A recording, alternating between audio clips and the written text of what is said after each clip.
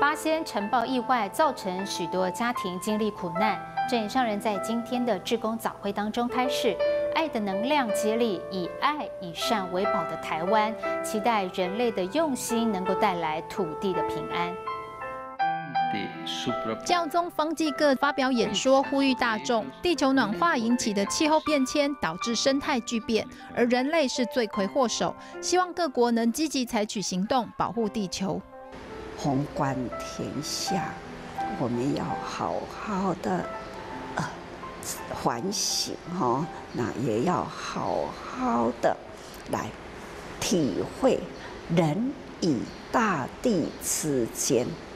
这一份的互益哦，那互益啦，土地和人类的利益是虾米？啊，人类呢应该要保护土地，它的平安。豆花，好些小小公豆花。疼惜大地，也用爱抚慰苦难。脑心麻痹的女孩心疼八仙尘爆意外造成的伤害，在街头认真叫卖豆花，因为老板娘答应卖一碗豆花将捐出十元，帮助烧烫伤患者。女孩的爱心一周内捐出七千多元。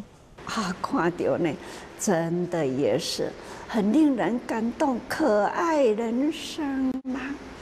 这就是台湾又看到了。